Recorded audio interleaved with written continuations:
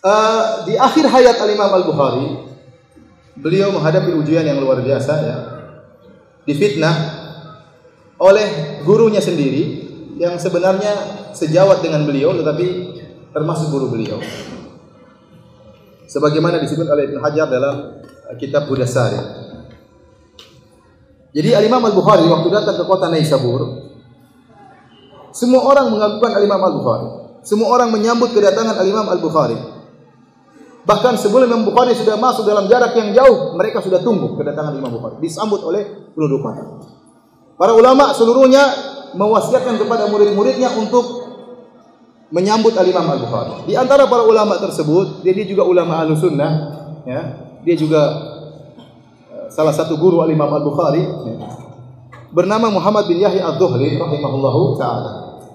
Dia berkata dalam majelisnya, "Man arada an yastaqbil Muhammad bin Ismail ghadan falyastaqbilhu, fa ini astaqbiluhu."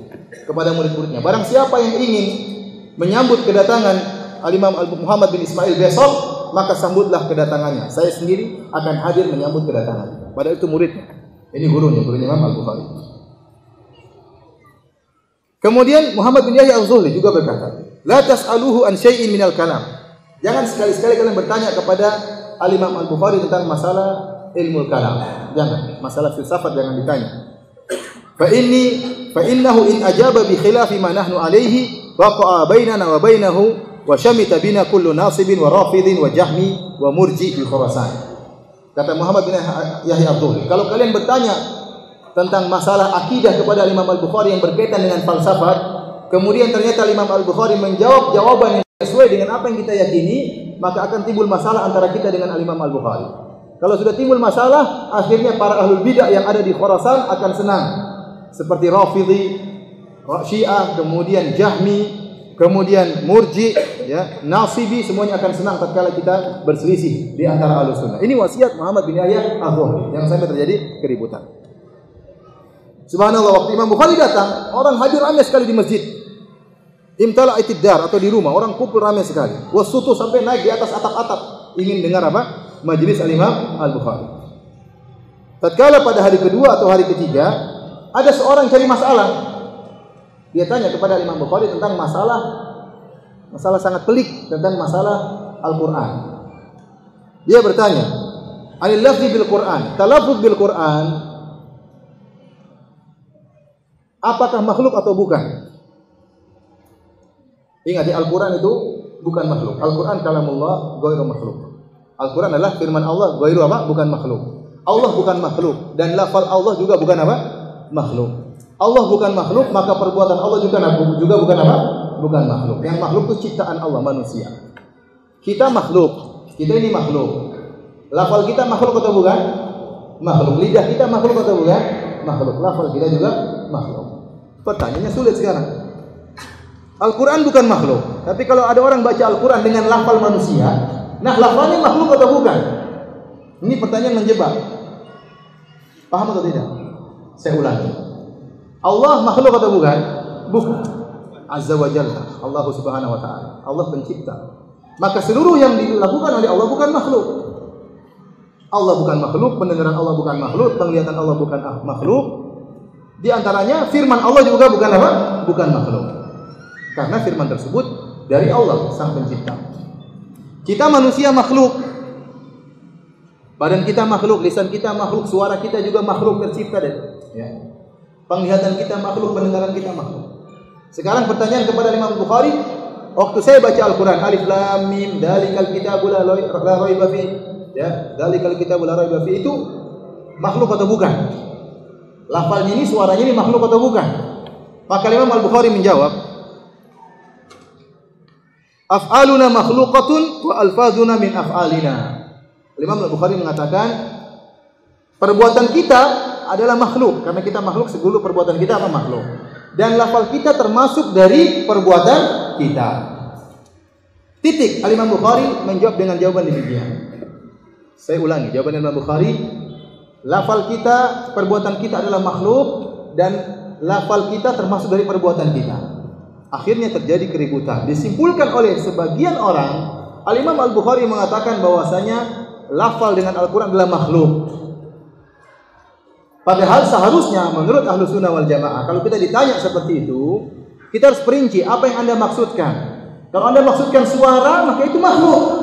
Tapi kalau anda maksudkan yang dilantunkan, alif lam mimnya, maka itu bukan makhluk. Karena kita sedang melantunkan firman Allah subhanahu wa ta'ala. Sama seperti saya mengatakan, berkata al-imam al-Bukhari, misalnya saya mengatakan, al-imam al-Bukhari berkata, ya, Sannaftul jami' min sittati min sitti mi'ati alfi hadithin fi sittata asyrata sanata. Aku menulis kitabul jami' ya. Dari saya pilih dari 600 ribu hadis saya tulis dalam waktu 16 tahun. Suaranya suaranya Firanda, paham? Tapi ucapannya ucapannya siapa? Al-Imam Al-Bukhari. Saya sedang menukil perkataannya siapa? Imam Al-Bukhari. Tapi suaranya suaranya siapa? Suaranya Firanda, paham? Suaranya saya. Sama waktu saya baca Al-Quran, lafal-lafalnya saya, suara-suaranya apa? Saya. Tapi teksnya itu saya sedang menukil firman siapa? Firman Allah. Paham? Teksnya tersebut bukan bukan makhluk. Al-Quran, kalau maksud anda adalah kertas-kertas, ini makhluk. Paham? Tetapi yang termaktub dalam kertas tersebut sedang menukil firman siapa? Allah dan firman Allah bukan makhluk. Waktu Imam Al-Bukhari ditanya, apakah talafut bil Quran makhluk?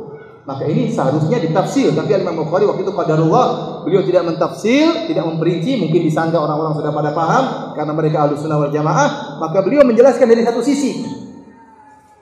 Sisi bahwasanya lafal kita ini makhluk.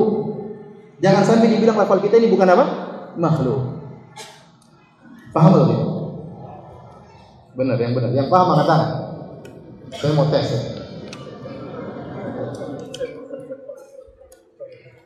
Ya. Akhirnya mulailah jadi keributan. Dikatakan Al-Imam Al-Bukhari berfatwa dengan fatwa yang yang sesat. Dia mengatakan lafzi bil Qur'ani makhluk, lafalku dalam Al-Qur'an dalam melafalkan Al-Qur'an adalah makhluk. Maka kemudian terjadi keributan. Ada yang mengatakan, "Oh, Imam Bukhari tidak maksudnya demikian." Terjadi debat di antara para pendengar. Akhirnya kata sebagian ulama ya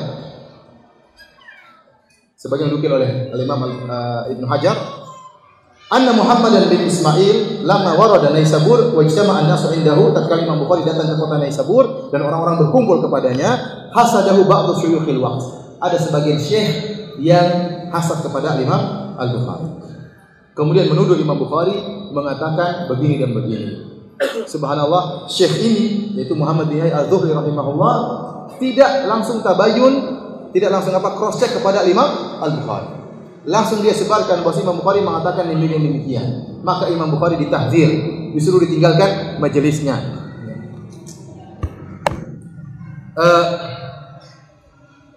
kata Al Hakim, walamma waqa bainal Bukhari wa bainadz Zuhli fi mas'alatil lafzi, tatkala timbul khilaf antara Imam Bukhari dengan gurunya Muhammad bin Yahya tentang masalah lafal bil Quran, in qata an-nasu anil Bukhari. Seluruh orang meninggalkan Al-Imam Bukhari karena Muhammad bin Yahya gurunya, guru besarnya di Naisabur mentahdir Imam Bukhari. Dia mengatakan yang hadir ke majelis Bukhari tidak boleh hadir di majelis saya. Tidak ada yang hadir di majelis Bukhari kecuali akidahnya sama dengan akidahnya Bukhari. Akhirnya tidak ada yang hadir di majelis Imam Bukhari. Semuanya meninggal Imam Bukhari. Kecuali Imam Muslim dan Ahmad bin Salam. Tahu Imam Muslim yang punya sahih Muslim. Dia juga muridnya Imam Al-Bukhari dan juga Ahmad bin Salam. Dua orang ini meninggalkan majelis Muhammad bin Yahya al-Zuhli karena membela gurunya. Mereka membela siapa? Imam Al-Bukhari. Meskipun satu kata seluruhnya mentahdir Imam Bukhari. Itu bayangkan Imam Bukhari di atas kebenaran. Satu kata seluruhnya mentahdir dia. Tidak ada yang bela dia kecuali cuma dua orang. Muslim bin Hajjaj, muridnya Imam Muslim dan juga Ahmad bin Salamah. Maka Imam Muslim pun berdiri dari majelis Muhammad bin Yahya al-Zuhli Kemudian dia mengambil selendangnya, dia taruh di atas sorbannya, kemudian dia jalan meninggalkan majelis Muhammad bin Yahya al-Zuhri. Dia lihat orang semua. Dalam rangka untuk membela siapa? Gurunya, beraninya Imam Muslim. Kemudian dia mengumpulkan seluruh periwayatan dia dari Muhammad bin Yahya al-Zuhri, kemudian dia kembalikan, dia tidak meriwayatkan dalam Sahih Muslim. Oleh karenanya, Al-Imam Muslim dia tidak ikut-ikutan ribut antara kedua gurunya. Sekarang dia punya dua guru, Muhammad bin Abdul sama siapa? Al Imam Al Bukhari. Maka dia meninggalkan riwayat dari Muhammad bin Zuhli dan juga meninggalkan riwayat dari Al-Imam Al-Bukhari. Maka dalam Sahih Muslim kita tidak mendapatkan periwayatan dari Muhammad bin Al-Zuhli dan juga tidak mendapatkan periwayatan dari Al-Imam Al-Bukhari. Kenapa? Karena Imam Muslim ingin mengambil sikap adil, tidak ikut campur dengan uh, khilaf yang terjadi di antara dua gurunya.